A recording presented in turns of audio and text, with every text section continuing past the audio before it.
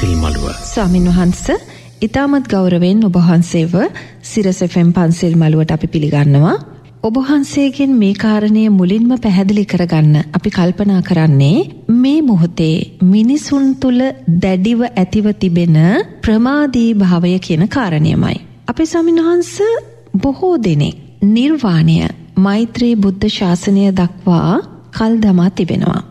බුදුරජාණන් වහන්සේගේ අවසාන වචනය අපි සිහිපත් කළොත් අප්‍රමාදී වන්න කියන කාරණයයි උන්වහන්සේ සිහිපත් කරන්නේ. අප්‍රමාදී වන්න කියලා කියන්නේ ඉදිරි බුද්ධ ශාසනද එහෙම නැත්තං මේ මොහොතේ වහවහා හිස ගිනිගත් කෙනෙක්.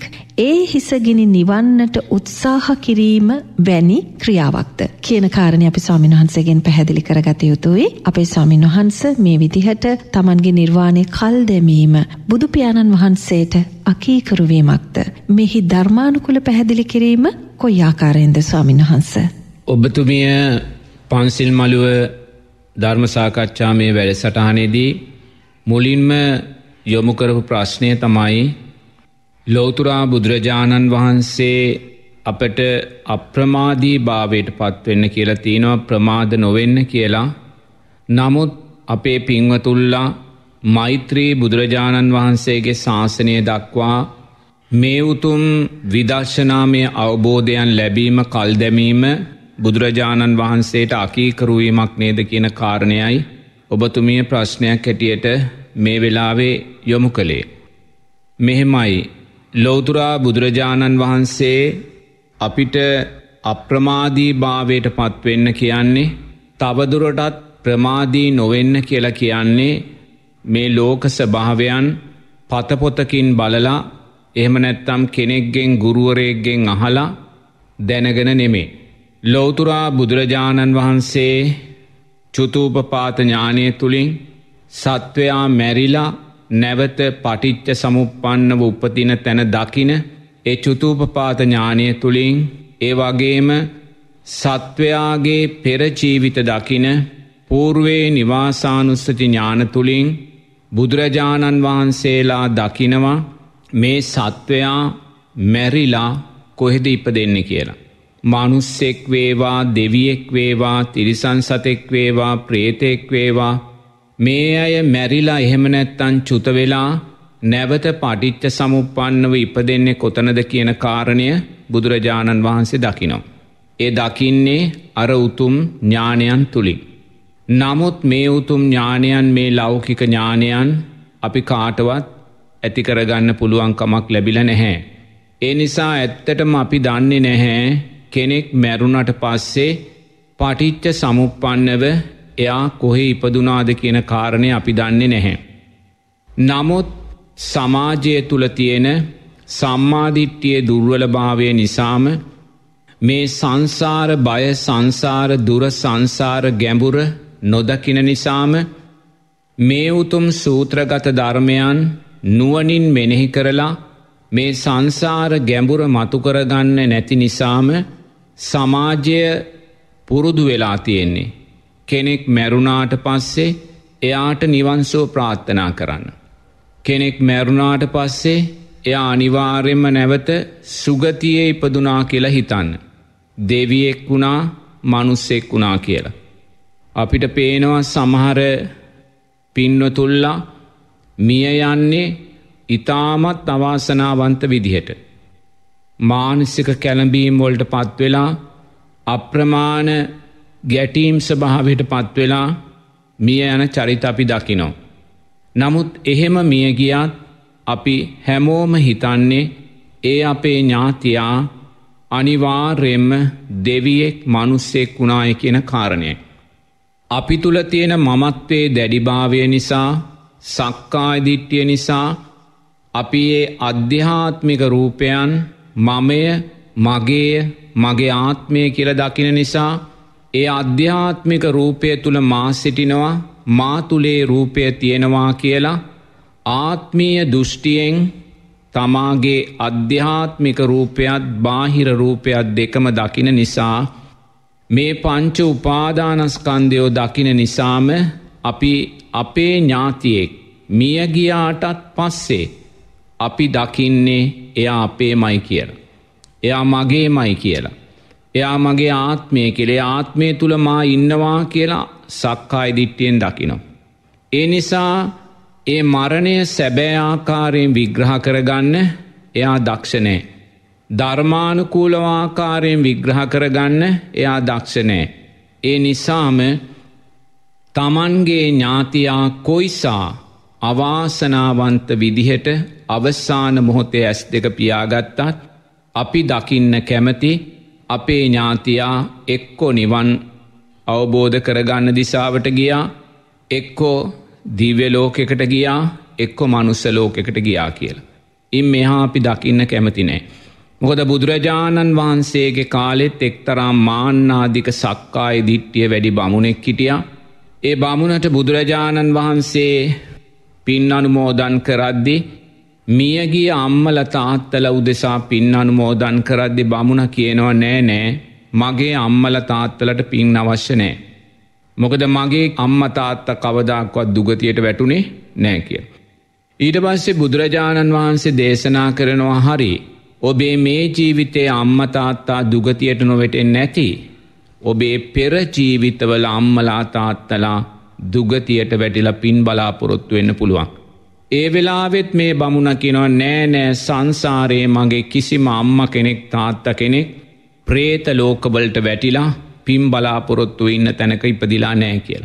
එතකොට මේ කතාවෙන් අපි දකින්නේ මේ බමුණා මාන්නාධික සක්කාය දිට්ටි බමුණා තුළ තිබුණා වූ රූපේ පංච උපාදානස්කන්ද ධර්මයන් කෙරෙහි තිබ්බා වූ මමත්වේ දැඩිභාවේ.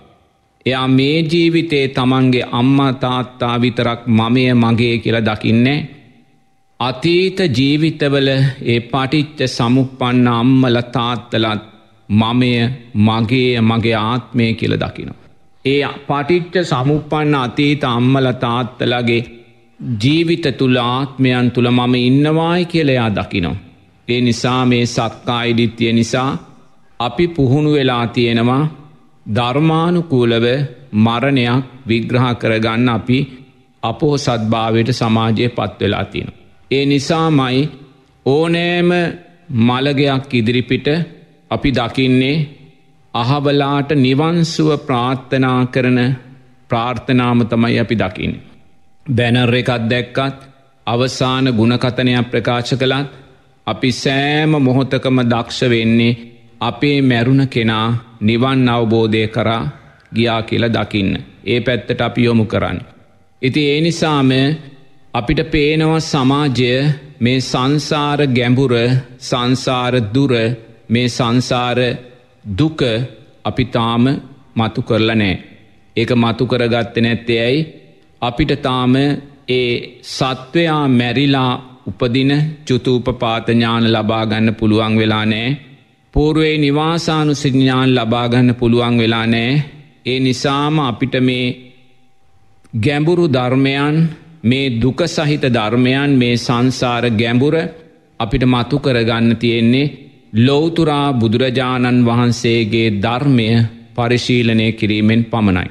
නමුත් අපි බුදුරජාණන් වහන්සේගේ ධර්මය ශ්‍රවණය කරන්න නැතුව ධර්මය කියවන්නේ නැතුව ඒ ධර්මය නුවනින් මෙනෙහි කරන්න නැතුව අපි මතුපිටින් ලෝකය දකිද්දි ඇත්තටම අපි හිතනවා අපේ ඥාතියා මියගියාට පස්සේ එයා කිනම් ජීවිතයක් ගත කළත් එය අනිවාර්යම සුගතිය ඉපදුනාය කියන කාරණය. ඒ නිසා අපි සමාජය දක්ෂවීතුයි මට පසුගිය දවසක මහත්මෙක් මුණගෙහිල කිව්වා සාමීන් වහන්ස අපිට දරුවෙක් ලැබුණා. දැහුඟාක් අයට අපි සමාජයේ තියෙන දෙයක් තමයි අපි දකිනවා සමහර දරුවෝ ඉප දෙන්න දැම් පෙරේදත් අම්ම කෙනෙක්කාවේ අම්ම කියනවා ස්වාමීන් වහන්ස මට දරුවා ලැබිලා දවස් දෙකෙන් දරුවා නැති වුණා කියලා. එකන දරුව ජීවත් වනේ දවස් දෙකයි. මොකදේ දරුවා ලැබෙන වෙලාවම අම්මගේ රුදිර පීදනය වැඩි වෙලා මොනවා හෝ බලපෑම් මත ඒ දරුවා බිහිවෙලා දවස් දෙකකින් ඒ දරුව මිය පරලව යනවා.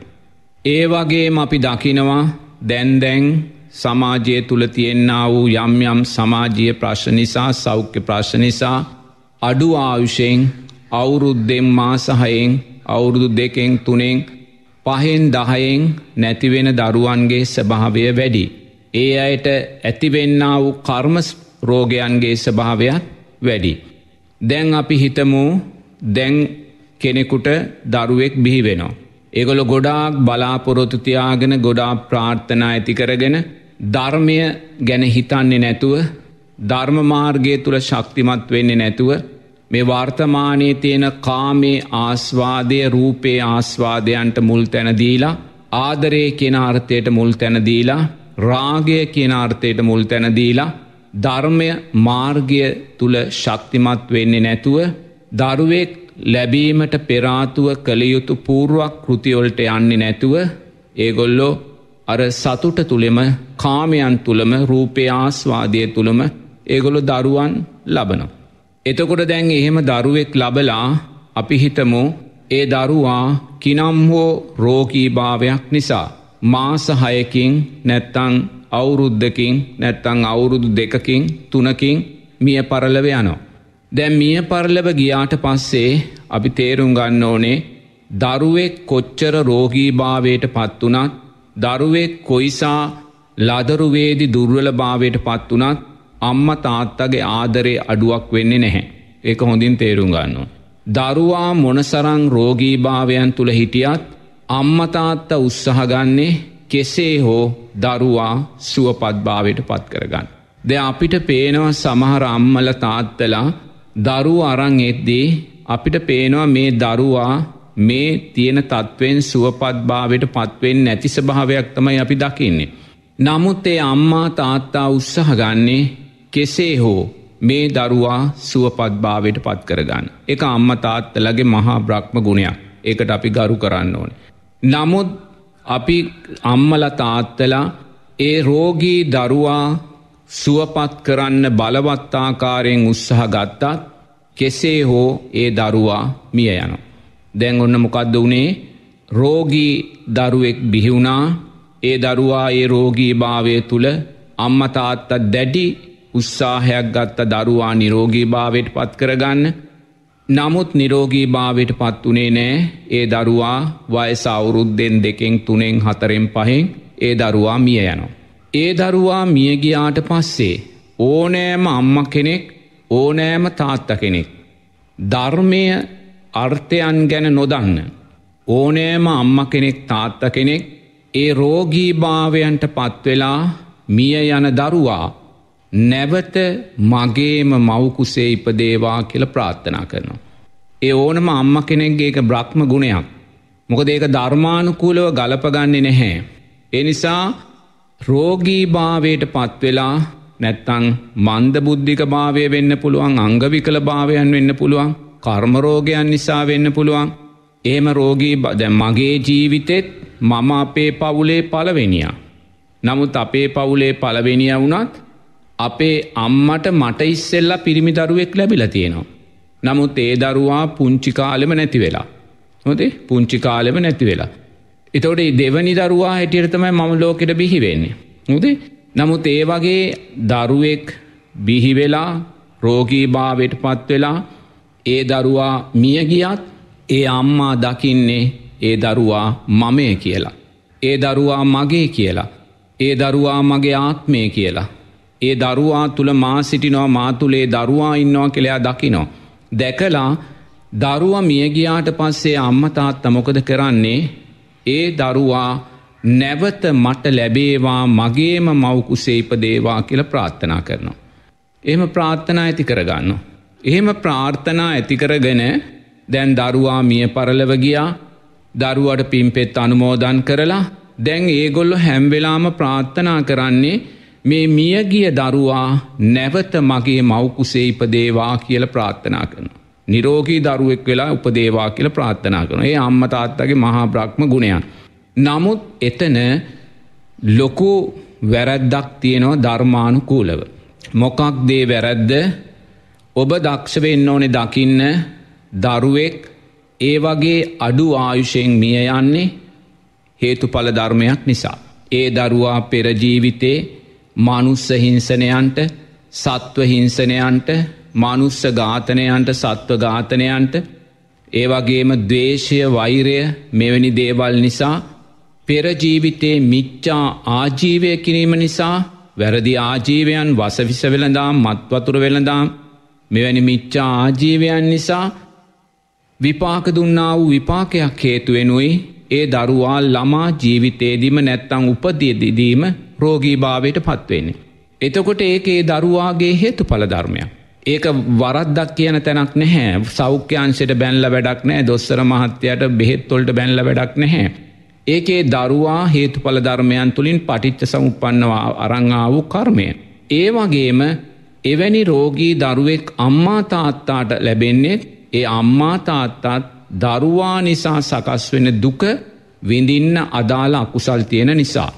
එනිසා අම්මතාත්තටත් අසාධාරණයක් වෙලා නෑ ඒ ඉපදුනා වූ රෝගී දරුවට අසාධාරණයක් වෙලා ඒක ලෝක දහමක්. අවිද්‍යාපච්චයා සංකාරා සංකාරපච්චයා විඤ්ඥානං විඤ්ඥානපච්චයා නාමරූපං නාමරූපපච්චයා සලායතනය. එනිසා මේ සලායතනයන් නිපදුනේ අවිද්‍යාව හේසුවෙන් කර ගන්නා වූ සංස්කාරයෝ දෝතින් දරාගෙන පටිච්ච සමුපන්න. එනිසා එතනදි රෝගී දරුවා ගැනවත් ඒ රෝගී දරුවා නිසා දුක්විඳින අම්මා ගැනවත් අපිට ධර්මානුකූලෝ ගැටලුවක් නැහැ අපි එක විසඳ ගත් ඒව හේතුඵල ධර්මයන්. නමුත් දෙමාපියන් දක්ෂ වෙන්න ඕනේ එවැනි රෝගී දරුවෙක් ලැබිලා ඒ රෝගී දරුවා මියගියොත් කරුණා කරලා ඒ දරුවා නැවත මට මවකුසට ඒවා කියල ප්‍රාර්ථනා කරන්න එපා. ඒක වැරදි වැඩක්.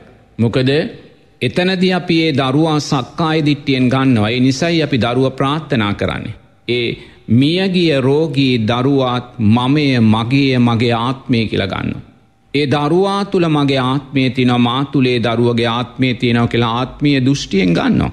එතනදී අම්මලා තාත්තලා ලොකු වරදක් මොකද ඒ දරුවා දැන් රෝගී භාවෙන් මියගියා මියගියාට පස්සේ හොඳට තේරුම් ගන්න ඕනේ ඒ මියගිය දරුවාට තමන්ගේ ඒ තියෙන අකුසලය යටපත් කරගෙන නැගී සිටීමේ ශක්තියක් නැහැ. හොදට තේරුම්ගන්න. මොද ළමාජීවිතේදීත් රෝගී ළමාජීවිතේදිත්‍යයාට අකුසලේ යටපත් කරල නැගී හිටින ශක්තියක් නෑ මොකො දෙයක් පින මතු කරගන්න කුසලේ මතු කරගන්න එච්චර දන්නේ නෑ ළමාවයසේ ඒ වගේම ඒ දරුවා මියගියාට පස්සේ යම් උපතකට ගියා කියමු.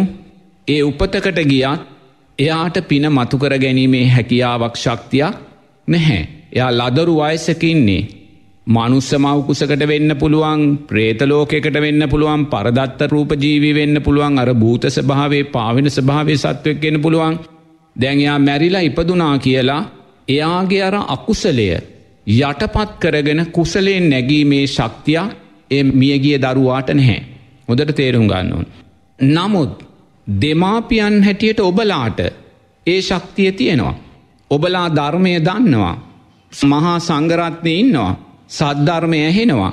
මේ කර්මය කර්මඵල විශ්වාසය පිළිබඳ ඔබල දන්නවා. ඔබලාට පුළුවන් අනේ මට අපි දෙන්නට රෝගී දරුවෙක් ලැබුණ ඒ රෝගී දැරුවෙක් ලැබුණ අපි දෙන්නාගේ අකුසල් සංස්කාර නිසා දැන් ඒ රෝගී දරුව මියගියා ඒ දරුවා උදෙසා කළයුතු සියලු යුතුකම් අපි කලා සෞඛ්‍ය පහසුගම් සියලු ආදරය රැකවරණය ආරක්ෂාව මරණින් පස්සෙ කරන්න තියනේ යුතුකම් ඒ සියල් අපි කලා දැන් ඒ දරුවා අපිට අයිති නෑ. එච්චරයි. ඒ දරුවා දැන් අපිට අයිති නැහැ.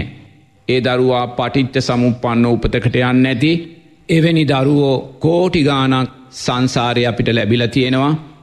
දැන් ඒකම දරුවෙක්වත් අපිට අයිති නෑ එනිසා මේ මිය ගිය දරුවාත් දැන් අපිට අයිති නෑ එතනින් ඒ දරුවා කෙරෙයි උපාදානය අපි හිස් කළ දාන්න ඕනේ. රෝගී මියගිය දරුවා කරේ උපාදානය හිස් කරලා අපි දක්ෂ වෙන්න ඕන හිතන්නේ ඒ කියන අම්මතාත්තා අපිට රෝගී දරුවෙක් ඉපදුනේ අපේ අකුසල් සංස්කාරයක් නිසා.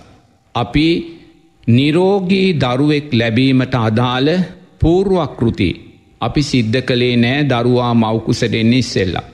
ඒ නිසා අපි දක්ෂවෙන්න ඕනේ දැන් අපි නැවත දරුවෙක් බලාපොරොත්තු වෙනවා නැවත පුතෙක් කෝදුවෙක් අපි බලාපොරොත්තු වෙනවා ඒ නිසා ඒ දෙමාපියන් ධර්මය තුළ ශක්තිමත්වෙන. සීලය තුළ ශක්තිමත්වෙන්න. මෛත්‍රිය තුළ ශක්තිමත්වෙන්න. ත්‍යයාගේ තුළ ශක්තිමත්වෙන්න. තෙරුවන් කෙරෙහි සද්ධාව තුළ ශක්තිමත්වෙන්. ඒම ශක්තිමත් වෙලා තමන්ගේ ජීවිතය නැවත පිනෙන් පුරවගෙන. මොකද පිනේ දුර්වලභාවයක් නිසයි අර රෝගී දරුවා පටිච්ච සම්පන්න මවකුසට ලැබුණේ. නමුත් දැන් දන්නවා තමන් මේ රෝගී දරුව ඇයිම අපිට ලැබුණ කියලා. නමුත් ඒ දරුව මිය ගියා දැන් ඒ දරුව අපිට අයිති.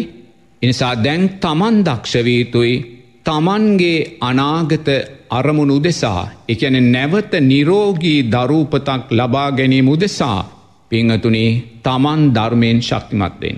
ඒක දෙමාපියන්ටේ හැකියාව තියෙනවා. දෙමාපියන්ටේ ශක්තිය තියෙනවා. ධර්මමාර්ගය විවෘතව තියෙනවා. එනිසා මියගිය දරුවා මියගියා රෝගීභාවයෙන් නැවත දරුවා ගැන හිතන්න එපා එයාට දෙන්න තියෙන පිම්පෙත් දියයුතු අවස්ථාව දෙන්න එතනින් ඒක නවත්තන්න උපාදානය අයින් කරන දරුවා කෙරෙයි මරණෙන් පස්සේ කළ යුතු යුතුකම් පක්ෂය කරන්න කරමින් ඔබ ධර්මයෙන් ශක්තිමත්වෙන්න. ඔබ සීලයෙන් මෛත්‍රියෙන් ත්‍යයාගෙන් සද්ධාවෙන් ඔබ ශක්තිමත්වෙන්. ඔබ ශක්තිමත් වෙලා ඒ ශක්තිමත් භාවය හොඳින් ඇතිකරගත්තට පස්සේ. ඔබ තුළ ඔබට විශ්වාසයක් ඇති වුණොත් දැන් අපි පිනෙෙන් ශක්තිමත්. දැන් අපිට දරුවෙක් නිරෝගී දරුවෙක් ලැබීමට අදාළ ධර්මතාවයන් අපි තුළ තියෙනවා කියල ඔබට විශ්වාසයක් ඇති වුණොත් ඔබලා නැවත දරුවෙක් උදෙසා ඒ කටයුතුවලට යන්න. නමුත් මියගිය දරුවා උපාදානය කරගන්න නං එපා.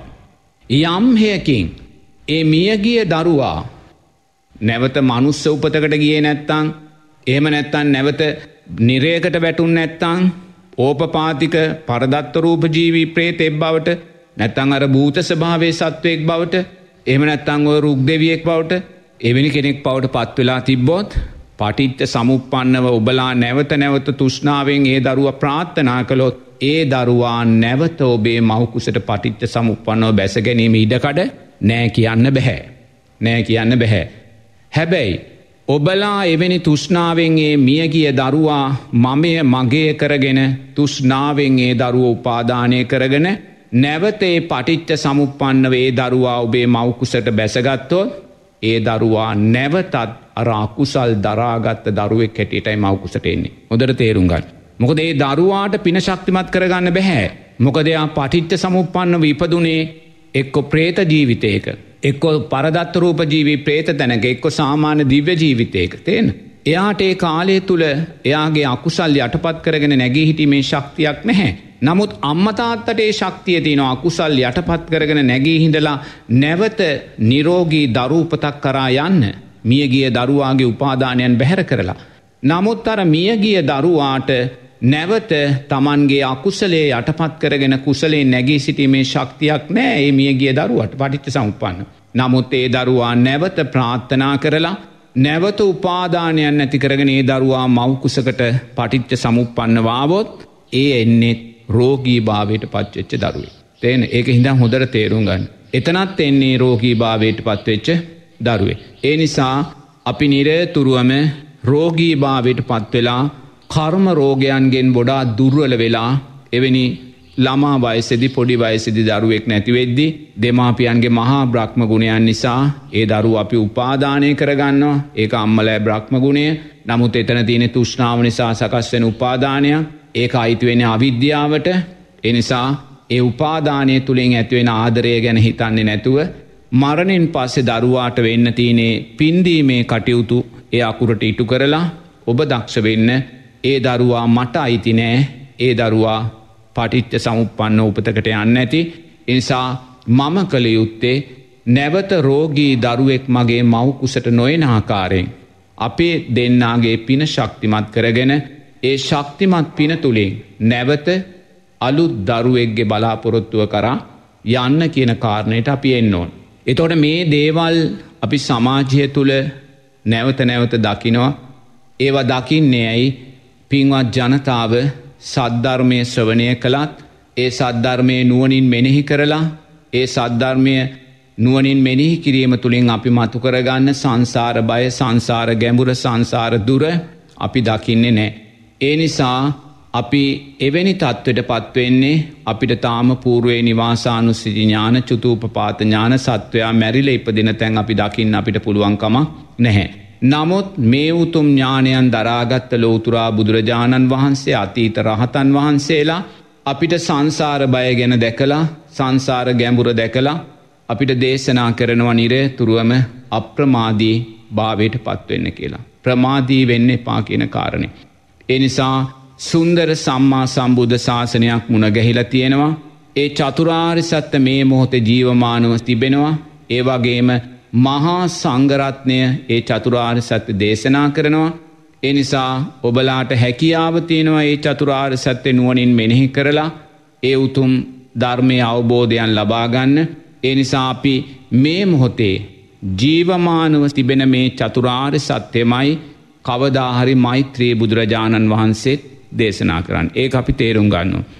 ආයිමත් අමුතු දහමක් ලේසි දහමක් මීට වඩා සරල දහමක් කියල දෙයක් මෛත්‍රී බුදුරජාණන් වහන්සේ දේශනා කරන්නේ.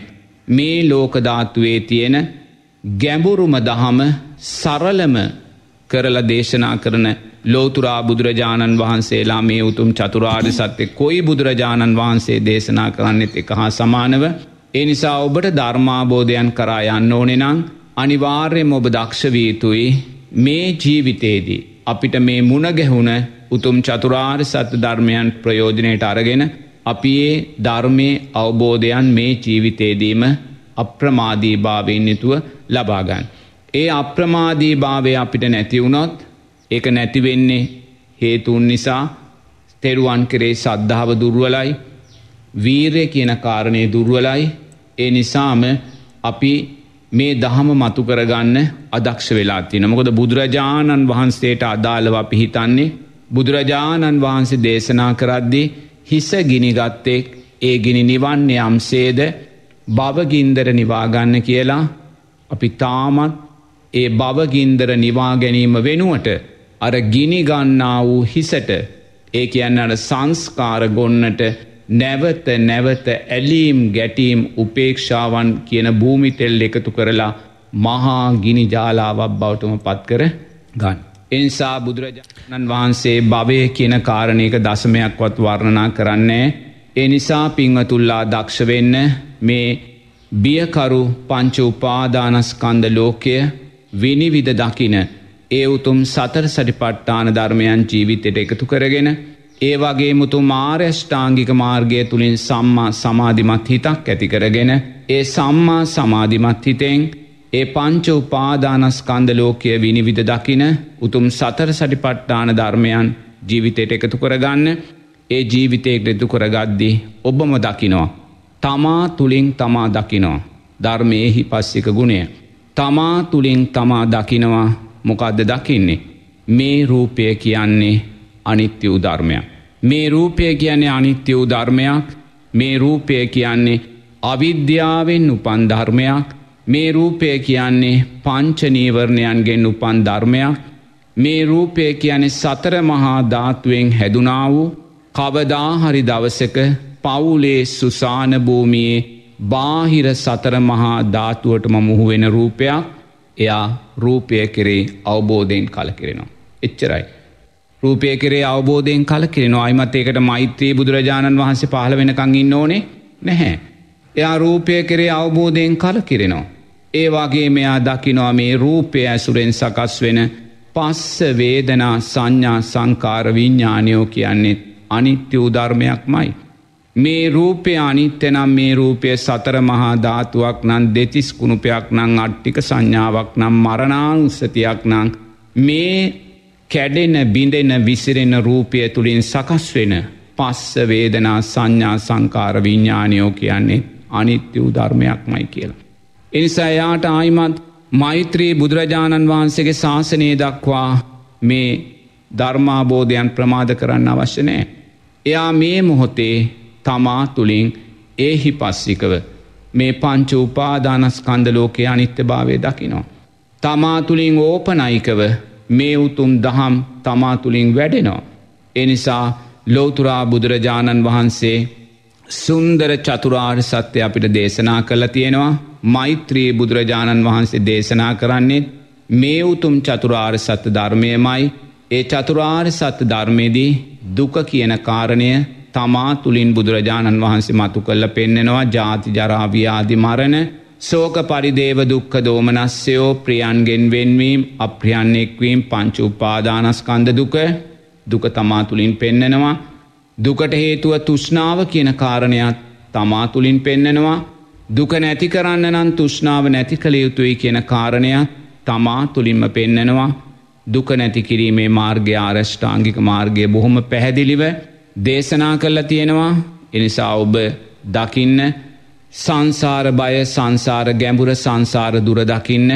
අපි ඒ නොදනකින නිසාමයි තවත් අපි බව ගමන නැවත නැවත පටිච්ච සමුපන්නව ප්‍රාර්ථනා කරන්නේ උතුම් නිවන කියන කාරණය මෛත්‍රී බුදුරජාණන් වහන්සේගේ කාලය දක්වාපි ඇතර දාන්නේ. එනිසා කල්්‍යාන මිත්‍රාශ්‍රය ලබන්න මහා සංගරත්නය ඇසුර ඒ ඇසුර තුළින් සද්ධර්ම සවනය කරන්න. සද්ධර්ම ස්වනය කිරීම තුළින් පමණක් සෑහීමට පත්වෙන්න එපා. ඒ සද්ධර්මය නුවනින් ගලපන්න. ඒ සද්ධර්මය ඔබේ පංච උපාදානස්කන්ද ලෝකය හා ගලපන්න ගලපලා මේ ධර්මතාවයන්ගේ අනිත්‍ය භාවය දකින තැන ඔබට ආයිමත් අප්‍රමාදී භාවය පිළිබඳ කවුරුත් කියල දෙන්න අවශ්‍යනෑ. තමා තුළින් තමා අප්‍රමාදී පුද්ගලය බවට පත්වෙනවා. තමා කොතනැකවත් රූපය ඉදිරියේ ප්‍රමාද වෙන්නේ. අදමුළු සමාජයම රූපය ඉදිරියේ ප්‍රමාද වෙලා තියෙන. රූපය මමේ රූපය මගේ රූපය මගේ ආත්මය කියලා අරන්තියන. රූපය දේවත්වයෙන් දකින සමාජයක් අපි ඉදිරියේ තියෙනවා. රූපය නිසා සකස් වෙන විඳීම් දිව්‍ය ඕචාවක්සේ විඳින සමාජයක් අප ඉදිරියේ තියෙනවා. රූපය ඇසුරෙන් සකස් වෙන සංඥා සංස්කාර විඤ්ඥානයෝ මමය මගේය කියලා සක්කායදිට්ටියෙන් ගන්න සමාජයක් අපි ඉදිරියේ තියෙන. පිංහතුනේ ඇයියේ සමාජය කල්්‍යාන මිත්‍රභාවයෙන් ඇත්තුනා. සමාජය සද්ධර්ම සවනයෙන් ඇත්තුනා. සමාජය ශ්‍රවණය කලා වූ සද්ධර්මය නුවනින් මෙනෙහි කිරීමෙන් ඇත්තුනා. ඒගොලො සද්ධර්මයෙන් ඇත් වෙලා ඒගොලො කොහාටද ගියේ රූපේ ආස්වාදයට. ඒගොලො කාමේ ආස්වාදයට කියා. ඒගොල්ලො සූත්‍ර පොතට වඩා තමන්ගේ අතේ තියන දුරකතනය දේවත්වයෙන් දැක්කා. ධර්මයක් හැටියට දැක්කා. තමන්ගේ එකම සැනසිල්ල එකම සැපය ජීවිතේ ලබන්නා වූ එකම තෘප්තිය හැටියට මේ අතේ තියෙන දුරකතනය දැක්කා. ඒ නිසා මේ අයි තුළ කාමයන් වැඩුන ඒ අයි තුළ රාගේ වැඩුන ඒ අව තුළ රූපය ආස්වාදය වැඩුණා. ඒ නිසා මේ අයට සද්ධර්මය අර්ථයන් ජීවිතයට එකතුනේ නැහැ. එවැනි සමාජයක් අදාපිදිරියේ නිර්මාණය වෙලා තියෙන විශේෂයෙන් අපේ තරුණ දරුවෝ. ඒ දරුවන් මේ තත්වට පත්වනේ ඇත්තට මේ අය සද්ධර්මය ශ්‍රභනය කරන්න ඇති නිසා. දෙමාපියන්ට අවශ්‍යතාවයක් නැහැ. තමන්ගේ දරුවාට ධර්මය ශ්‍රවණය කරන්න ඉඩ දෙන්න. මොකද තරගකාරීමේ සමාජය තුළ දෙමාපියනුත් උත්සාහගන්නේ දරුවා අධ්‍යාපන ශේෂත්‍රයෙන් ජයග්‍රහණය කර යන්. දැම් පසුගිය දවසක එක මහත්මේ ගුරු මහත්මේ මට පණවිඩයක් කෙවල තිබ්බ ස්වාමීන් වහන්ස පාසලේ දරුව හාරදහක්කින්නවා මේ දරුව හාරදාහෙන් මේ පහේ පන්තියෙන් ඉහළ දරුවන්ට ධර්ම දේශනාවක් කල්ල දෙන්න කියලා. මං ඒ මහත්‍යයාට පණවිඩයක් ඇරුව මහත්තයෝ ඔබට ධර්ම දේශනාවන සතිය දවසකද නැත්තන් සතියන්තයේ දවසකද කියලා. හොඳයි ස්වාමීන් වහන්ස මං මේක පන්සලේ ආගමික කටයුතු භාර ස්වාමීන් වහන්සේගෙන් අහලා දැනුන් දෙන්නම් කියලා කිව්ව. ඊට පස්සේ ගුරු මහත්මයා එයාගේ හිතවතෙක් හරහමට දැනුන් දෙනවා ඒ ආගමික කටයුතු භාර ස්වාමීන් වහන්සේ කිව්වලු ළමයි බණහන්නේ නෑ ළමයි කෑගහනවා ඒ නිසා බණ කියල වැඩක් නෑ ඕනෙනං හාමුදුරුවන්ට දොළහැ පන්තියේ ළමයි ටික විතරක් කරම් බණක් කියන්න කියලා. ඉදර බලන්න අද සමාජය කොතනද තියෙන්නේ කිය. දැන් මේ පිළිතුර දෙන්නේ ගුරු මහත්මය නෙමේ. ඉතර ගුරු මහත්මයාට තමයි අවශ්‍ය වනේ ළමයි හාරදහ උදෙසා ධර්ම දේශනාවක් පාත්වන්න. නමුත් ඒ පාසලේමින් ආගමික කටයුතු භාරස්වාමීන් වහන්සේගේ පිළිතුර බලන්පිය පිළිතුර පිටිපස්සේ කොයි සානම් බලවත් අනතුරක් සමාජයට තියෙනවාද කියලා. එනිසා අපිට දරුවන්ට දොස් කියන්න බැහැ. දරුවන්ගේ වරදක් නෑ මේ උපදින දරුවෝ පුදුමාකාර පුං්ඥවන්ත දරුවෝ. ඒ පුං්ඥවන්ත දරුව නිසා ඒ දරුවන්ගේ පෙර පින නිසාමයි. අපේ පාසල් පද්ධතිය තුළ ඉන්න පලවෙනි ශ්‍රේණියයේ ඉදන් දොළහැ ශ්‍රේණිය දක්වා ඉන්න දරුවෝ ඒවගේම මේ නැවත නැවත අලුතෙන් උපදින දරුවෝ පුදුමාකාර පුං්ඥවන්ත දරුවෝ. එකැන පෙර පටිට්ට සමුපන්න ජීවිතයේදී මේ මව්බිමේම ඉපදිලා පින් කරලා සිල් රැකලා මෛත්‍රී වඩලා නැවත මේ උපම්බිමේ උපදිනවා කියලා උපාදානයන් නැති කරගෙන ඉපදුන දරුවෝ. නමුත් එවැනි දරුවෝ පෙර උපාදානයන් දරාගෙන ඉපදුනත් ඒ දරුවෝ ඉපදුනදා පටන් ඒගොල්ලන්ට ධර්මයක් නං දෙමාපියන් ලබා දෙන්න එච්චර කැමැත්තක් නැහැ. එක දෙමාපියන්ගේ වර්ධ නෙමේ රැල්ල පසු පස්සේ දෙමාපියනුත් ඇදී යනෝ. එතොට මොකක්ද අද තියෙන රැල්ල අද තියෙන්නේ අධ්‍යාපනය රැල්ලක්. ධර්මය රැල්ලක් නෙමේ මනුස්ස ධර්මයන් පිළිබඳ රැල්ලක් නෙමේ ගුණදහම් පිළිබඳ රැල්ලක් නෙමේ අපේ සංස්කෘතික සදාචාරයන් රැකගන්න ඕනෙකින රැල්ලක් නෙමේ අද තියෙන රැල්ල අධ්‍යාපන රැල්ල. එතකොට මේ අධ්‍යාපන රැල්ල තුළ ඒ දෙමාපියන් ඒ රැල්ලට ගහගෙන යනවා. ඒක වලක්වන්න බෑ ඒව හේතු පල ධර්මයක්. ඒ නිසයි බුදුරජාණන් වහන්සේ දේශනා කරන්නේ. රටක රාජ්‍යනායකයා ධර්මිෂ්ට නොවනොත්. ධර්මානුකූලෝ මේ ප්‍රශ්නය මතු කර නොගන්න නායකෙක් නං දෙමාපියනුත් අනතුරට යනවා මේ ඉපදින පුං්ඥවන්ත දරු පරම්පරාවත් අනතුරට යනවා. අද ඒක සිද්ධ වෙලා තියෙනවා. මම දන්නවා මං බුදුරජාණන් වහන්සේගේ ශ්‍රාවකේ මට පූර්වේ නිවාසානුසඥාන චුතූපපාතඥාන නැහැ නමුත් මං සද්ධර්මය ශ්‍රවණය කරන කෙනෙක්. සද්ධර්මය කියවන කෙනෙක්. ඒ සද්ධර්මය නුවනින් මෙනෙහි කරන කෙනෙක්. ඒ සද්ධර්මය නුවනින් මෙනෙහි කරද්දී මම බුදුරජාණන් වහන්සේගේ ශ්‍රාවකය කැටිය දන්නවා. අපේ මේ දරු පරපුර හරිම පුං්ඥවන්ත දරු පරපුරක් කිය. මේ රටේ මේ ඉදිරියේ උපදින දරු පරපුර හරිම පුං්ඥවන්ත දරු පරපුරක් කියල. ඇයි එහෙම කියන්නේ. මොකද ඒ දරුවන් ඉපදින්නේ සස්ත්‍රීක භාවයන්ට අදාළ දෙමාපියන්ගේ මවකුසවල. ඒ දරුව උපදින්නේ ගෙවල් දොරවල් යාන වාහන තියෙන දෙමාපියන්ට දාව. ඒ දරුවන් ඉපදෙන සමාජය තුළ පිංහතුනි තාක්ෂණිකාතින් දියුණු සමාජයකේ දරුව උපදින්නේ. ඒ දරුව උපදින්නේ පිංහතුනේ සැප සම්පත් සතුට විනෝතය කියනදේ පිරුණා වූ සමාජෙක්. අද සමාජය දිහැ බැලුවොත් දරුවෙක්ට සතුටු වෙන්න තියෙන සෑම අවස්ථාවක්ම තියෙනවා. ආහාරපානවලින් ඇඳුම් පැළඳුම් මොලින් සෙල්ලම් බඩුවලින් තාක්ෂණික උපකරණවලින් මේ කොයි දේ බැලුවත් දරුවෙක්ගේ පින නිසාම මතු කරල දෙන ප්‍රනීත සමාජයක් ප්‍රනීත ලෝකයක් අපි ඉදිරියේ තියෙනවා. එතෝඩේ ප්‍රනීත භාවය ඒ දරුව ලබන්නේ ඇයි පෙරජීවිතය පින නිසා. අපි මේ සමාජයේ දිහැ දකින මේ ප්‍රනීත විසිතුරු ලෝකය විසිතුරු සමාජය ආහාරපානෙන් ඇඳුම් පැළඳුම් වලින් සෙල්ලම් බඩුවලින් යානවාහනවලින් තාක්ෂණික උපකරණවලින් මේ සියල්ලෙන් දකින මේ විසිතුරු ලෝකය කියන්නේ පෙරපිනේ පලයමයි. අපි මොකද්ද කරන්නේ. ඒ පින කාමයන් උදෙසා පිවිනාස කරගන්නවා. ඒ පින රූපයේ ආස්වාදය නිසා අපි විනාස කරගන්නවා. ඇයි රාජ්‍යනායකයෝ අධාර්මිෂ්ටයි ධර්මය මතු කරගන්න දක්ෂ නැහැ. ධර්මය මතුකරගන්න දක්ෂ නායකයෝ නං නායකයෝ හිතන්න ඕනේ.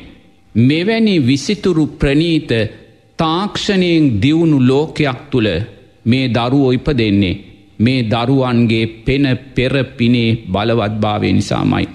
පුං්ඥවන්තභාවය නිසාමයි අද අධ්‍යාපන ශේෂත්‍රයේ මොනසා තරඟකාරයුත්තයන් තුළින් දරුවන් උරට එනවාදි කියල බලන්න.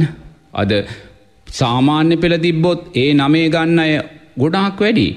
ඒ අටගන්න අය ගොඩාක් වැඩි. පෙරපින උසස් පෙළත් එහෙමයි.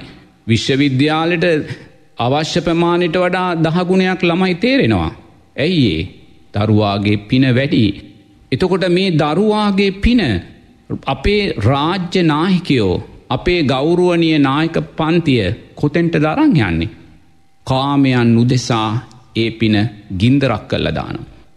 රූපයේ ආස්වාදය උදෙසා ඒ පින ගින්දරක් කල්ල දානවා. නමුත් දක්ෂ රාජ්‍ය නායකෙක් දක්ෂවීතුයි. මේ දරුවන්ගේ පින මේ විපාකට එන පින රටේ සංවර්ධනය උදෙසා යොමු කරගන්න. රටේ දියුණුව උදෙසා යොමු කරගන්න. රටේ ආර්ථික දියුණු දෙසා යොමු කරගන්න. රටේ කුෂිකාර්මික දියුණු දෙසා යොමු කරගන්න. රටේ සංස්කෘතික සදාචාරාත්මක දියුණු දෙසා යොමු කරගන්න. ඇයි සුන්දර පිනක් මේ දරුව පහළ වෙලා තියන්නේ පින දරාගෙන. එතොට මේ පින අපි දක්ෂණං නිවැරදි ආකාරයෙන් සීලයෙන් කළමනා කරණය කරලා. මෛත්‍රියෙන් කළමනා කරණය කරලා. සද්ධාවෙන් කළමනා කරණය කල්ලා ත්‍යයාගෙන් කළමනා කරණය කරලා මේ පිනාපි දක්ෂණං කාමයන් උදෙසා නෙමේ රාගය උදෙසා නෙමේ රූපේ ආස්වාදය උදෙසා නෙමේ මේ පින රටේ සංවර්ධනයට යොමු කරගන්න. මේ පින රටේ තාක්ෂණයට යොමු කරගන්න. මේ පින රටේ කුෂිකර්මයට යොමු කරගන්න. මේ පින රටේ සංස්කෘතිය සජාතාර දියුණුවට යොමු කරගන්න. මීට වඩා සුන්දර රටක් අපිට දකින්න ලැබෙන නෑ. ඒ නිසා අපි මේ උපදින දරු පරම්පරාවේ පින අමු අමුවේ ගින්දරක් බවට පත් කළ දාන. ඒකට රාජ්‍යනායකයෝ විතරක් නෙමේ අපේ දෙමාපියන් ගුරුවරුන් පවා යම් ප්‍රමාණිකට වග කියන්න වෙනවා. තියෙන් මහා සංගරත්නයත් වග කියන්න වෙනවා. මොකද කිසිම කෙනෙක් දක්ෂ වෙලා නෑ මේ සමාජය තුළ මේ විසිතුරුභාවයෙන් ප්‍රනීතභාවයෙන් තාක්ෂණික දියුණුවෙන් මේ විපාක දෙන පිනක් කියලම් කාරණය මතු කර ගණ දක්ෂ නෑ. එනිසාම පින පිනෙන් උපදින දරුවන් ගින්දරක් බවට පත් කරගන්න. ඒගොල්ල මේක කාමයන් උදෙසා තාක්ෂණයෙන් ලබන්නා වූ ආස්වාදය උදෙසා රූපයෙන් ලබන්නා වූ ආස්වාදය උදෙසා අධ්‍යාපන ශේෂත්‍රයේ ඇතිකරගන්නා වූ තරගකාරීත්වය නිසා අපි නැවත නැවත ලෝබ දේශ මෝහයන් නැතිකරගෙන මේ සුන්දර පින අපි ගින්දරක් බවට පත් කරගන්න. ඉතින් මේ සියල්ල සිද්ධ වෙන්නේ ඇයි අපි සද්ධර්මයේ යථා අර්ථය සද්ධර්මය අපිට මතු කල්ල දෙන මේ සංසාර බය සංසාර ගැඹුර සංසාර දුර මේ සංස්කාරයන්ගේ යථා ස්භාවය මේ පින නියමාකාරයෙන් සීලයෙන් කළමනා කරණය නොගත්තොත් මේ පින ගින්දරක් වෙනවායි කියෙන අර්ථය අපි තේරුම් අරං නෑ. එනිසා මේවා හේතුඵල ධර්මයන්.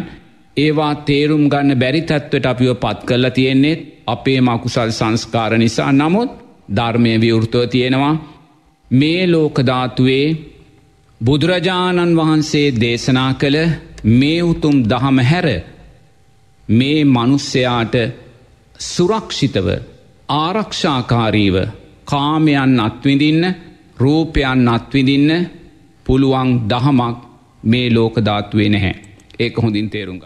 බුදුරජාණන් වහන්සේ පමණයි අපිට දේශනා කල්ලා තියෙන්නේ ඕනෑම පින්වත් මනුස්සෙකුට සතුටුවෙන්න විනෝදවෙන්න ලස්සනට අඳින්න ලස්සන ගෙවල් දොරවල් හදන්න ලස්සන වාහන ගන්න හොඳට උසස් අධ්‍යාපනය ලබන්න සෙල්ලම් කරන්න ව්‍යායාම කරන්න මේ කොතනකොවත් බුදුරජාණන් වහන්සේ මේවා අපිට තහනං කල්ලනෑ ගිහිපින් අතුල්ලාට. මේවා එපා කියලනෑ බුදුරජාණන් වහන්සේ දේශනා කල්ල තියෙන්නේ. ඔබ සතුට ලබනවනං විනෝදය ලබනවනං ඔබ ලස්සනට අඳිනවනන් ලස්සන ගෙවල් දොරවල්වල ජීවත්වෙනවනං ලස්සන වාහන පාවිච්චි කරනවනං ඔබ ඉහලට උසස් අධ්‍යාපනය ලබනවනං ඔබ සෙල්ලම් ව්‍යායාම කරනවනං ඒ ඔබේ වර්ණය සැපේ බලය ඒ වර්ණය සැපේ බලය කියන ඔබේ පින පින බුදුරජාණන් වහන්සේ කවදාකත් ප්‍රතික්ෂේප කරන්නේ නමුත් බුදුරජාණන් වහන්සේ ඒ පින ඔබට බුක්ති විඳින්න කියන්නේ මේ උතුම් ආචීවාට්ටමක සීලේ ආරක්ෂාව තුළ. එනිසා මේ ලෝකධාතුවේ ඔබේ පින වඩාත් අර්ථවත්ව වඩාත් ශක්තිමත්ව වඩාත් පලදායිතාවෙන් යුතුව බුක්තිවිඳලා ඔබට මේ මනුස්ස ජීවිතය සුන්දර දේවත්වයක් කරා අරංයන්නත් මේ මනුස්ස ජීවිතය තුළ අප්‍රමාදී භාවයට පත්වෙලා මේ ජීවිතේදීම උතුම් සෝවාන් සකුරුදාගාමි මාර්ගය ලබන්නත් කියල දෙන එක්කම දහම මේ බුදුරජාණන් වහන්සේගේ දහම පමණයි. එනිසා හොඳින් තේරුම් ගන්න පින්වත් තරුණ දරුව කළ යුත්තේ මේ ශාසනය තුළ අපිට රැඳෙන්න බෑ මොකද මේ ශාසනය නිවන ගැන කියනවා මේ ශාසනය සීලය ගැන කියනවා මේ ශාසනය අකුසලය ගැන කියනවා මේ ශාසනය පවගැන කියනවා සිල් බිඳුනොත් අපාය යනවා කියනවා එනිසා මේ ශාසනය තුළනං අපිට ඉන්න බැහැ. ඒනම් අපි නිර්ාගමික භාවයට පත්වෙනවා එතන අපිට බැඳීමක් නෑ එතන අපිට දහමක් ආගමක් නෑ අපිට සුවසේ ජීවත්වෙන්න පුළුවන්.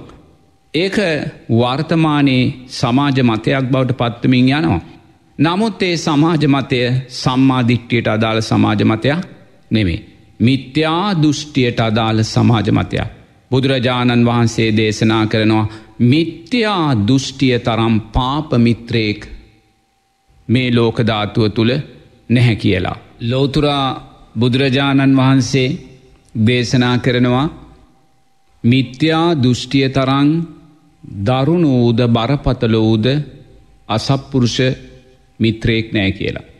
ඒ නිසා යම් පින්වතෙක් කියනවනං යම් පින්වතෙක් අදහස් කරනවනං යම් පින්වතෙක් සමාජය තුළ පතුරුවනානං මේ බුදු දහම කියන්නේ ජනතාවගේ නිදහස ජනතාවගේ සතුට ජනතාවගේ සැපය අහිමි කරන දහමක් කියලා ඒ පින්වතුල්ලා තේරුම් ගන්න ඕනේ තමන් ඔය දරණ මතය මේ ලෝකධාතුවේ බරපතලම මිත්‍යා දෘෂ්ටික අසත්පුරුෂ සිතුවිල්ලා මතයක් කියන කාරණය.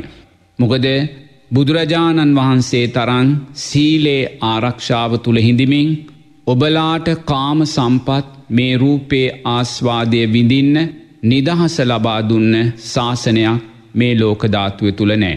එනිසා ඔබලාට අවශ්‍යනං සතරාපායට වැටෙන් නැතුව මේ කාමයන් අත්විඳින්න මේ රූපේ ආස්වාදයන් අත්විඳින්න ඔබට අවශ්‍යනං සතරාපායට වැටෙන් නැතුව ඇස පිනවන්න කන පිනවන්න නාසය දිව ශරීරය මනස පිනවන්න ඔබ බුදුරජාණන් වහන්සේගේ දහම සෙවනටයි එන්න ඕනේ. ඒක හොඳින් තේරුම්ගන්න. එනිසා ඔබ කියනවානං බුදු දහම තුළ අපිට සතුට නිදහස අපිට විනෝදය නැහැ කියලා ඒ ඔබ උත්සාහගන්නේ සිල් පද බිඳිමින් සතුට සොයන්න. සිල්පද බිඳිමින් සීලය සොයන්න. සිල්පද බිඳිමින් කාමේ රූපේ ආස්වාදයන් සොයන්. පිංහතුනී හොඳින් තේරුම් ගන්න. බුදුරජාණන් වහන්සේ මේ උතුම් දහම මහා කරුණාගුණයෙන් දේශනා කලා උදහමක්. මේක මේ අපි යමක් හිතලා කියන්න වගේ කියපු දහමක් නෙමේ. පන්තිකාම්බරේ ගුරුතුමා පාඩම් පොත බලලා කියල දෙන පාඩමක් නෙමේ. එහෙම නැත්තම් වැඩිහිටියෙක් උපාධයක් කදාරලා ඒ දැනුම තුළින් කියල දෙන පාඩමක් නෙමේ. බුදුරජාණන් වහන්සේ මේ සද්ධර්මය පාඩම අපිට කියල දෙන්නේ මහා කරුණා ගුණේ. බුදුරජාණන් වහන්සේලාගේ උත්තරීතර මහා කරුණා ගුණය සකස් වෙන්නේ උන්වහන්සේලා පූර්වේ නිවාසානුසිටි ඥානයෙන් චුතූපපාතඥානයෙන් දකිනවා මේ ලෝකධාතුවේ ජීවත්වෙන සෑම සත්වයෙක්ම පටිච්ච සමුපන්නව තමන්ගේ අම්ම කෙනෙක් තාත්ත කෙනෙක් බිරිඳක් සාම්පුරුෂයෙක් දරුවෙක් ඥාතියෙක් මුණුබුරෙක් මිනිබිරියෙක්ක කියන කාරණි. වරක් නකුල මාතාවට බුදුරජාණන් වහන්සේ දේශනා කරනවා ඔය නකුල මාතාව සංසාරයේ ආත්මභාව පන්සීයක් මගේ අම්ම වෙලා ඉපදිලා තියෙනවා. ආත්මභාව පන්සීයක් මගේ ලොකු අම්ම වෙලා ඉපදිලා තියෙනවා. ඔය නකුල මාතාව ආත්මභාව පන්සීයක් මගේ පුංචි අම්ම වෙලා ඉපදිලා තියෙනවා. ඔය නකුල මාතා ආත්මභාව පන්සීයක් පටිච්ච සමුපන්නව මගේ නැන්ද වෙලා ඉපදිලා තියෙනවා. බලන්නකෝ පටිච්ච සමුපන්න ඥාතිවිත් එක බැඳීම. ඒ වගේ බුදුරජාණන් වහන්සේලා පූර්වේ නිවාසානු සිටි ඥාන තුළින් දකිනවා මේ ලෝකධාතුවේ සෑම දෙවියෙක් මනුස්සෙක් සතරාපා සත්වයෙක්ම සංසාරයේ තමන්ගේ ලේ ඥාතීත්වය තුළ හිටිය කියලා. ඒ තුළ ඉඳලයි බුදුරජාණන් වහන්සේලා තුළ ඒ මහා කරුණා ගුණය සකස්වෙන්.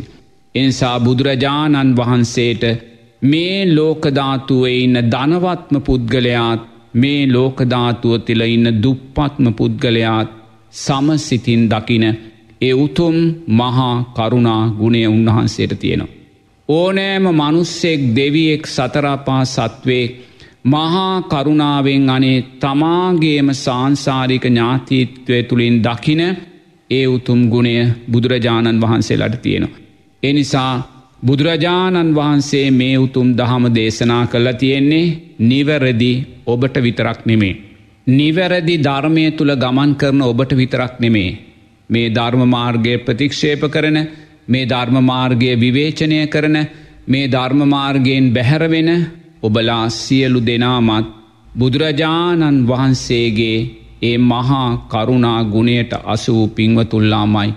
මොද බුදුරජාණන් වහන්සේ දන්නවා ඔබලා අද බුදුරජාණන් වහන්සේ ප්‍රතික්ෂේප කළත් සංසාරයේ ඔබලාත් බුදුරජාණන් වහන්සේගේ ලේ ඥාතියෙක්ම කියන කාරණය බුදුරජාණන් වහන්සේ දන්නවා. එනිසා ඔබලා බුදුරජාණන් වහන්සේ ප්‍රතික්ෂේප කළත් ඔබලා බුදුරජාණන් වහන්සේගේ ඈත් වෙන්න ගියත් මේ දහම සුදුසු නෑ කියලා ඔබලා චෝදනා කළත් බුදුරජාණන් වහන්සේලා ඔබලා දිහැ බලන්නෙත් ඒ මහා කරුණාගුණෙන් මයි. එනිසා පිංවතුල්ලා දක්ෂවෙන්න. බුදුරජාණන් වහන්සේ මහා කරුණාගුණයෙන් දේශනා කලා වූ මේ දහම තුළ හික්මිලා මේ දහමේ සරණගිහිල්ලා ඔබ දක්ෂ වෙන්න. ඔබේ හිතවතා ඔබේ යාළුවා ඔබේ ඥාතිය මේ සද්ධර්මයෙන් බැහැරට යන කෙනා මේ දහමතුරට අරං එන්න. ඒ අයට කියන්න මේ උතුම් සද්ධර්මය පමණයි සිල්පද ආරක්ෂා කරගෙන මේ ලෝකධාත්වේ තියෙන ඉහල්ලම ලෞකික සැපය අපිට විඳින්න අවස්ථාව දබල තියෙන දහම කියලා. මේ උතුම් සද්ධර්මය පමණයි ආජීව අට්ටමක සීලය ආරක්ෂා කරගෙන මේ කාමේ ආස්වාදයන් රූපේ ආස්වාදයන් සිත්සේ විඳින්න ආරක්ෂාකාරීව විඳින්න සතරාපායට නොවැටී විඳින්න මාර්ගය කියල දෙන එකම එක දහම මේ ලෝතුරා බුදුරජාණන් වහන්සේගේ දහමයි කියන කාරණය ඔබ සමාජගත කරන්න.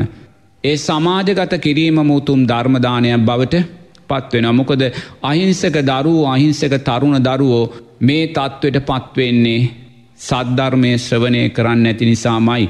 වැඩිහිටි පිංහතුල්ලා සද්ධර්මය ශ්‍රවනය කරනවාට අකමැති නිසාමයි. අද සමහර දෙමාපියන් ඉන්නවා. තමන්ගේ දරුවා ධර්මයට යොමුුවෙනවට කැමති නැහැ.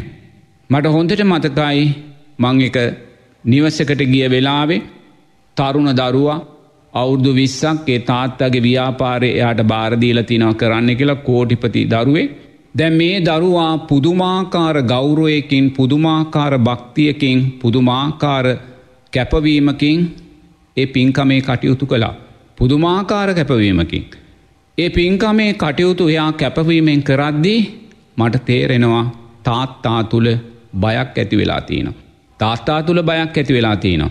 ඒ වගේමයි මං ඊට පසු දවස්සක ඒ නිවසට ගිය වෙලාවේ ඒ දරුවා එලියටවත්තාවෙනෑ.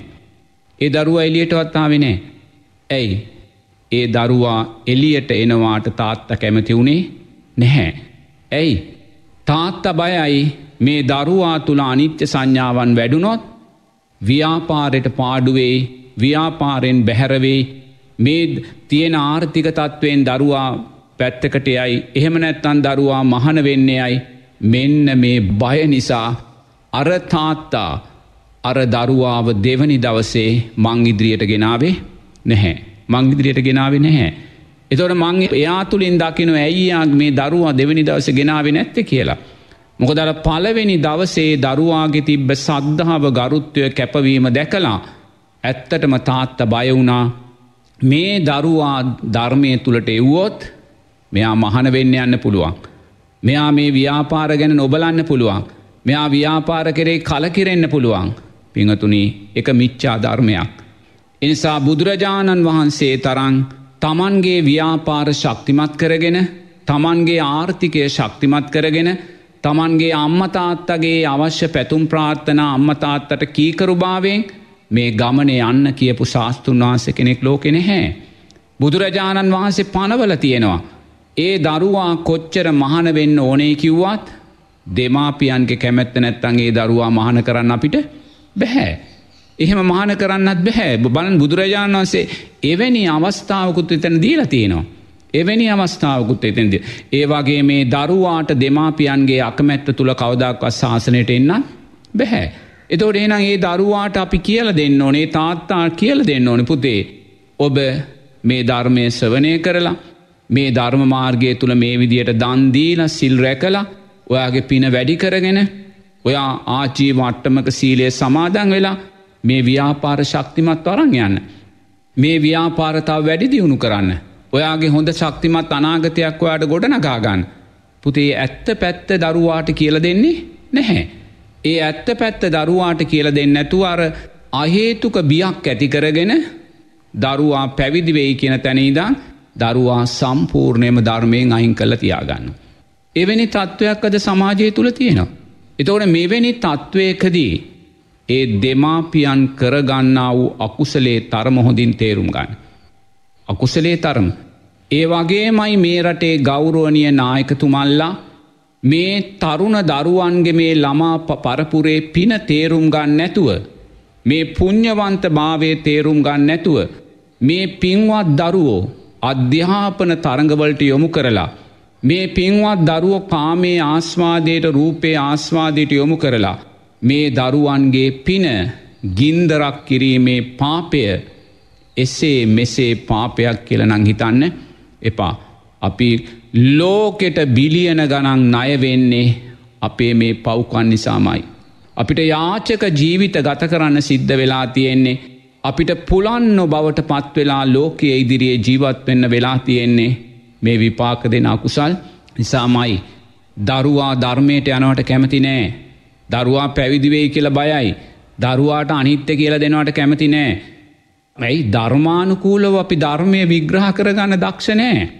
දරුවාට අනිත්‍යයි කියලා අපි කියල දෙන්න ඕනේ අධ්‍යාපනය කඩාපප්ල කරගෙන මහන වෙන්න යන්න නෙමේ. එහෙම මහන කිරීමේ අයිතියක් ශාසනය භික්‍ෂූන්වන අපිට නැහැ. එනිසා අපි දරුවාට අනිත්‍යයි කියෙන වචනය කියල දෙන්න ඇයි. පුතේ මේ ඇස අනිත්‍යයි. මේ ඇස කවදාහරි පවුලේ සුසාන භූමියයට පස්වෙන ඇසක්. එනිසා පුතේ මේ ඇහෙන් රූප දැකලා ඒවාට ඇලෙන්න ගැටෙන්න එපා. එහෙම ගැටුනොත් අකුසල් කරලා ඔබ ඔබට අයිති නැති ඇස නිසා සතරාපායට වැටෙනවා. අන්න අනිත්‍යය කියන්නේ ඒකයි. බුදුරජාණන් වහන්සේ අනිත්‍යය කියලා දරුවට පහදන්න එතනයි. පුතේ මේ කන අනිත්‍යයි. මේක අවිද්‍යාවෙන් ඉපදිලා තින මේක ඔබට අයිති නෑ. මේක කවදාරි පවුලේ සුසාන භූමියයේ පසටයි අයිති වෙන්නේ. එනිසා පුතේ මේ කනෙන් ශබ්දහලා ඒවාට ඇලිලා ගැටිලා අකුසල් කරගෙන මහපොලොවේ පසට අයිති වෙන කන්නිසා ඔබ සතරාපායට වැටෙන්න එපා බුදුරජාණන් වහන්සේ විතරයි මේක කියලා තියන්නේ. වෙන ශාස්තෘන් වහන්සේ කෙනෙක් මෙහෙම කියලා නෑ. මේ ඇස ඔබට අයිති නෑ මේක පසට අයිතිය කියලා බුදුරජාණන් වහන්සේ ඉතරයි කියලා තියන්නේ. ඒසා මේ මහපොළොවේ පසට අයිති ඇස නිසා ඔබ අකුසල් කරලා ප්‍රේතෙක් වෙන්න එපා. නිරිසතෙක් වෙන්න එපා අසුරෙක් වෙන්න එපා පිහතුනි මෙවැනි පාඩමක් වෙන කවුද කියල දෙන්නේ. බුදුරජාණන් වහන්සේ ඇර වෙන කවුද කියල දෙන්නේ. නමුත් කොයි අම්මද කොයි තාත්තද මේක දරුවට කියන්නේ. මේක ඇත්ත පැහැදිලි කරලා දෙන්නේ. පුතේ ඇයි මේ අනිත්‍යයි කියන්නේ. පුතේ ඔබ පාඩන් කරන වෙලාවේ. ඔබට අලස සිතක් ඇති වුණොත්. පුතේ හිත ඔබට අයිති නෑ. එහිත අයින් කළ දාන චිත්තානු පස්සනාව අයින් කරන්න. අයින් කළ නැවත පාඩන් කරන්න. ඔබට පාඩන් කරද්‍ය ඔබ ඉස්කෝලයක්දී ඔබට රාගසිතක් ඇති වුණොත් පුතේ ඔබට රාගසිත සුදුසු නැහැ ඔබට රාගසිත් ඇතිකරගන්න තව කල් තියෙනවා. එනිසා මේ වෙලාවේ අද ඒ රාගසිත අනිත්‍යයි කියලායින් කරන්න. පුතේ ඔබට දේශසිතක් කේන්තියක් ඇති වුණොත් ඔබට ඒ කේන්තිය ගැලපෙන් නැහැ. ඔබට අකුසල් වැඩෙනවා ඔබේ අධ්‍යාපනය දුරුල වෙනවා. එනිසායි කේන්ති සිත අනිත්‍යයි ඔබට අයිති නෑ අනිත්‍යූ පස්සයක් කියලායින් කරන්න. පුතේ ඔතන්නේ අනිත්‍යය. නමුත් ඕකන මේ කියල දෙන්නේ. අපි ධර්මයක් කියද්දී දරුවා ධර්මයට යොමු කරන්නේ ඇයි දරුවානිත්‍යහලා පැවිදිවෙයි කියල. පුතේම දුෘෂ්ටි අනිත්‍යහල පැවිදිවෙන්න කියල කාරණයක් දරුවන්ට බුදුරජාණන් වහන්සේ කියන්න හැ. දරුව ඉගෙන ගන්න ඕනේ. දරුව ඉදිරියට යන්න ඕනේ. දරුව අනාගත කුල පරම්පරා විදිරියට අරංයන්න ඕන් ලොක කෙනෙක් වෙලා. දරුව අනාගතයේ මහා බ්‍රහ්මෙක් වෙන්න ඕනේ.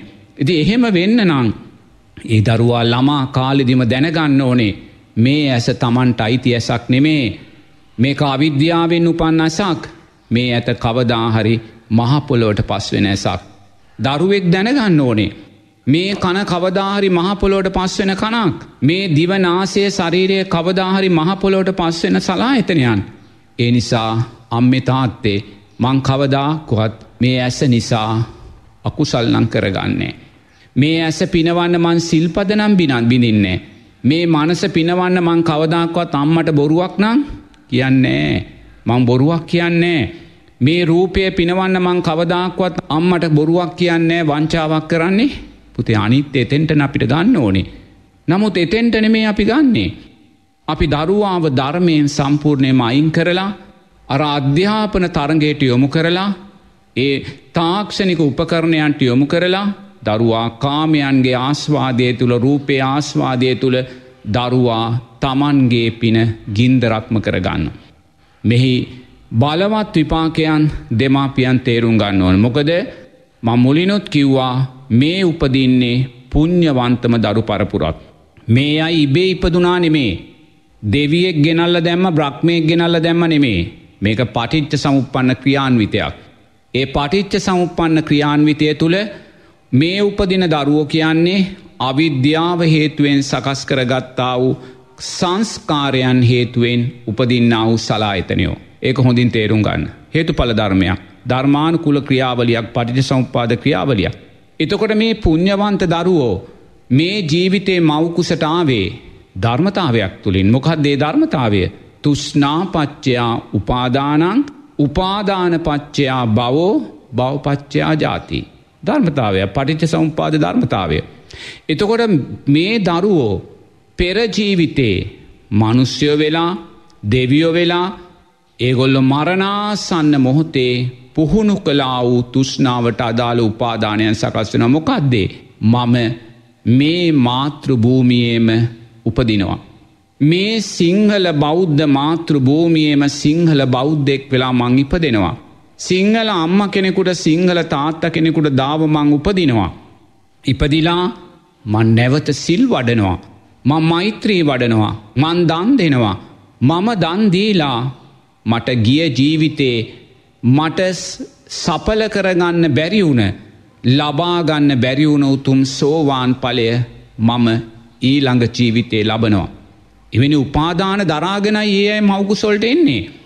දැන් ඔබ හිතන්න ඔබ අවුරුදු හැත්තෑවක මහලු කෙනෙක්. ඔබට මහලු කෙනෙකුුණත් ඔබ දන්න ඔබ සෝවාන් පලට පත්වෙලා නෑ කියලා. ඔබ සිල් ගන්නවා දන් දෙනවා ඔබ මොකද කරන්නේ.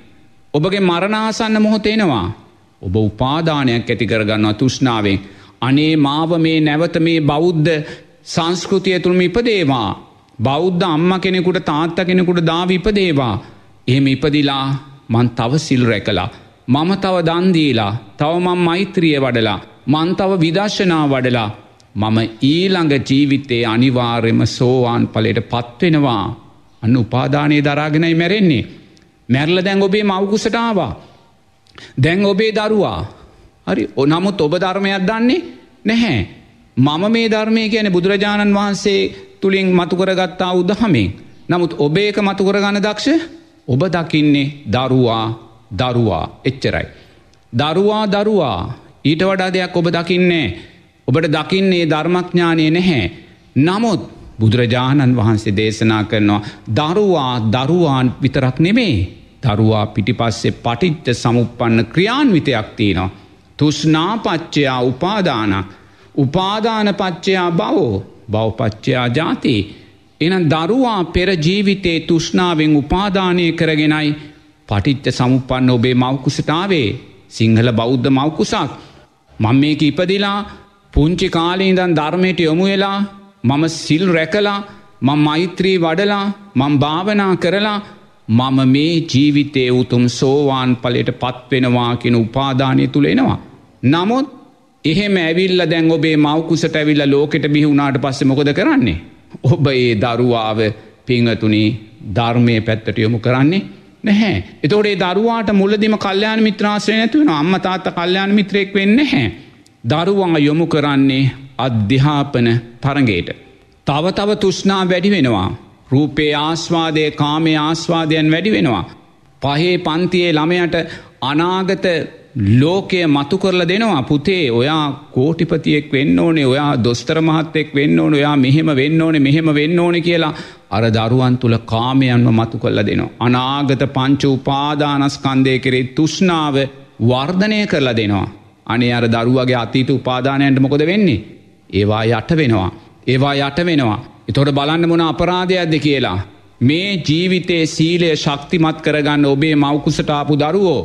මේ ජීවිතයේ මෛත්‍රිය ශක්තිමත් කරගන්න ඔබේ මවකුසටාපු දරුවෝ. මේ ජීවිතයේ දානය ශක්තිමත් කරගන්න ඔබේ මවකුසටාපු දරුවෝ.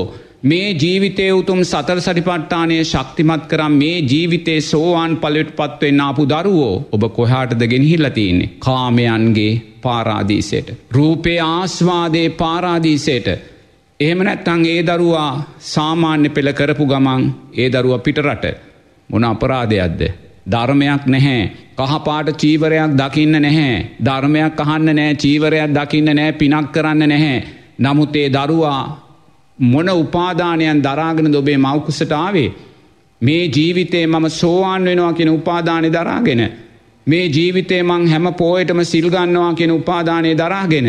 නමුත් ඒ සුන්දර උපාදානයන් බිඳිලගියා. ඇයි පිංවතුනි පින පින හැටියට අපි දකින්නේ නෑ. සම්මාධිට්්‍යය සම්මාධිට්්‍යය හැටි අපි දකින්නේ මේ උපදින පුං්ඥවන්ත දරු පරපුරේ පුං්ඥවන්ත භාවය අපි දකින්නේ. ඒ පුං්ඥවන්තභාවය නොදකින නිසාම අපි දරුවාව පිනේ ගින්දරක් කරා අරං යනවා ඒ දරුවාගේ පින රටේ සංවර්ධනය උදෙසා රටේ සංස්කෘතික සදාචාරාත්මක දියුණුව උදෙසා ඒ දරුවගේ ලෞකික ලෝකෝත්තර දියුණුව උදෙසා රටේ කුෂිකර්මය උදෙසා රටේ කර්මාන්ත ශේත්‍රය උදෙසා රටේ සංවර්ධනය උදෙසා අපි ඒ දරුවාගේ පිණ යොමු කරගන්න අදක්ෂ වෙලා තියෙනවා ඇයි මේ උතුම් ධර්මයන් මතු කරගන්න අපේ නායකතුමල්ලා දෙමාපියනුත් අදක්ෂභාවයට දරුවා දරුවා හැටියටයි අපි දකින්නේ. දරුවා දරුවා හැටියට දකින තාක්කල් අපිට මේ ප්‍රශ්නය විසිදන්න අපි දකින්න ඕන මේ දරුවා පසුපස පටිච්ච සමුපන්න ක්‍රියාන්විතයක් තියෙනවා. ඇයි මේ දරුවා ඇමරිකාවේ අම්ම කෙනෙක්ගේ මවකුසේ ඉපදෙන් නැතුව. ඔස්ට්‍රේලියාවේ අම්ම කෙනෙක්ගේ මවකුසේ ඉපදෙන් නැතුව. ඉන්දියාවේ අම්ම කෙනෙක්ගේ මවකුසේ ඉපදෙන් නැතුව ඇයි මේ දරුවා සිංහල බෞද්ධ ඔබේ මවකුසට ආවෙ කියන තැන හිතන්න මේ සුන්දරු දෑසන. ඇයි මේ දරුවා ක්‍රිස්තියානි අම්ම කෙනෙක්ගේ මවකුසකට යන්නඇතුව මුස්ලිම් අම්ම කෙනෙක්ගේ මවකුසකට යන්නඇතුව හින්දු අම්ම කෙනෙක්ගේ මවකුසකට පටිච්ච සමුපන්න යන්න ඇතුව ඇයි මේ සිංහල බෞද්ධ අම්මාගේ මවකුසට ආවෙ කියලා මේ සුන්දර උදෑසන මේ සුන්දර පන්සිල් මළුව ශ්‍රවනය කරන ඔබ නැවත නැවත හිතන්න කියලා මේ මොහොතේ කාරුණිකව මතක් කරනවා. ඒ කරලා ජීවිතය තුළින් අප්‍රමාණූතුම් ධර්මදානමය පින් ජීවිතයට එකතු කරගත්තා. එනිසා කල්පනා කරන්න මේ රැස් කරගත්තා වූ සෑම පිනක්ම මේ පන්සිල් මළුව ශ්‍රවනය කරා වූ පින්වත් මහත්ම මහත්මීන් නෝන මහත්මීන් දවාදරුවන් ඇතුළු පවුල්ලොල සිලු දෙනාට ගම්වාසී රටවාසී සියලු දෙනාට ඒවාගේම උත්තරීතර මහානායක සාමීන් වහන්සේලා ඇතුළු සියලූම ගෞරුවනිය මහා සංගරත්නයට මේ පින් නිදුක් නීරෝගී සුවපත්භාවය දීර්ඝාශ උතුම් චතුරාර් සද්ධර්මයෝ දැකීම අවබෝධයට මේ පින් උත්තම ශක්තියක් වෙන්න කියලා මෙස්සිතිං ආශ්‍රිවාද කරනවා. ඒ වගේම කල්්‍යාන මිත්‍රභාවයෙන් උපකාරක ධර්මයන් සකස් කොරදුන් පින්වත් සාලිකාරණසිංහ මහත්මියටත් පින්වත් සාරධ මහත්මයාටත් ඒ වගේම සිරස ගුවන් විදිලිය ප්‍රධානී පින්වත් සජිත්‍රත්නායක මහත්මය ඇතුළු කාර්යමණ්ඩලේ සියලූම පිංහතුල්ලාටත් මේ උතුම් ධර්මදාන් මේ පින් නිදුක් නීරෝගී සුවපත්භාවය දීර්ඝාශ උතුම් චතුරාර් සද්ධර්මයෝ දැකීමට මේ පින් උත්තම ශක්තියක් වේවා කියලා මෙස් සිතිං ආසිරිවාද කරනවා තෙරුවන් සරණයි.